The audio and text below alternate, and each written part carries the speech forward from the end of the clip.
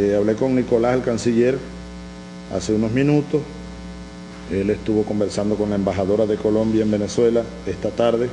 Ella le pidió una audiencia urgente, le dije recíbala, a pesar de que Nicolás estuvo llamando durante varios días a Bogotá, tratando de hablar con el canciller Bermúdez, no pudo, seguramente no pudo atenderlo, tenía otras prioridades, sin duda, aquí hay prioridades, ¿no? Y el canciller yo le instruí que le manifestara a la embajadora, le ratificara nuestra preocupación muy grande por la paz ¿eh? de la región, eh, sobre todo ahora que el gobierno de Colombia ha anunciado que le abre un conjunto de nuevas bases militares a las tropas yanquis. Y luego también se le ratificó a la embajadora que esto nos ha obligado a nosotros, lamentablemente, a revisar todo el esquema. Suspendimos una reunión de la COBAN, de la Comisión Binacional de Alto Nivel, que estaba prevista para esta semana. Y vamos a revisar todo el tema comercial, todo el tema político, todos los temas, pues. Porque en verdad mm, hemos considerado como un acto inamistoso del gobierno de Colombia. Por ahí, fíjate, el canciller de Colombia respondió por allá no sé dónde y dijo, según leí en los medios, y luego le dije a Nicolás que lo verificara bien. No han podido hablar, ojalá puedan conversar. ¿no?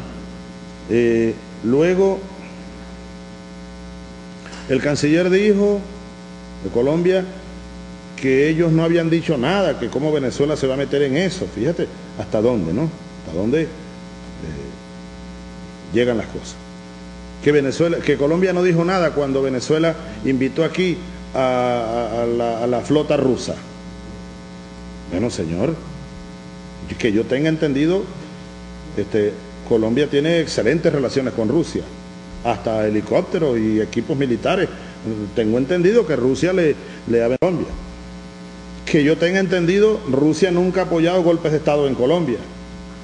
Que yo tenga entendido, Rusia no ha apoyado eh, acciones en contra del gobierno ni contra el pueblo de Colombia. Que yo tenga entendido, Rusia jamás ha apoyado un golpe de Estado en este continente. Creo que es un gobierno amigo tanto de Venezuela como de Colombia. Dijo también el canciller que, las relaciones con China que tiene Venezuela, que ellos nunca han dicho nada. Pero bueno, creo que está totalmente fuera de foco el canciller colombiano. me consta que el presidente de Colombia es un buen amigo del presidente de China. Ellos tendrán, tendrían que aclarar eso si es que ellos consideran al gobierno chino una amenaza, si es que Colombia considera el gobierno de Colombia, pues al gobierno ruso una amenaza. Ahora nosotros sí tenemos muchas razones para considerar al gobierno yanqui una amenaza para la paz de Venezuela, una amenaza para el pueblo venezolano, una amenaza para el gobierno venezolano, ¿eh? una amenaza de verdad. Y no son palabras, amenazas de invasión, amenazas de magnicidio, amenazas del paramilitarismo, los contratistas, que así los llaman a los mercenarios, inteligencia, contrainteligencia, el narcotráfico. Hace apenas dos días el, Congreso de Estados Unidos ha dicho que Venezuela es un narcoestado. Hace pocos días Israel, ¿eh? que tiene aviones en Colombia, ahí se cayó uno lamentablemente, afortunadamente los dos pilotos salieron ilesos, como Walter Martínez mostró anoche hasta imágenes. Y por allá los israelíes dijeron que sí, que dos de sus pilotos se cayeron en Colombia. Si hay pilotos israelíes volando en, el cielo colombiano con aviones eh, que uno no sabe si son de Colombia o son de Israel. ¿Eh? No sabe, uno no sabe.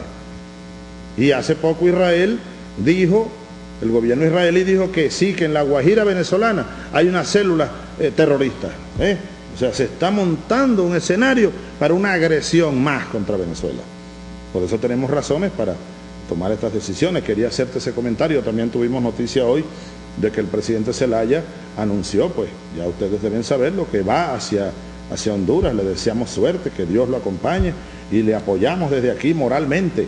Eh, y en cuanto podamos apoyarle junto a los pueblos del continente para que se recupere la democracia en Honduras y, que bueno, este gobierno tiránico desaparezca por, la, por, por los basureros de la historia de Dair.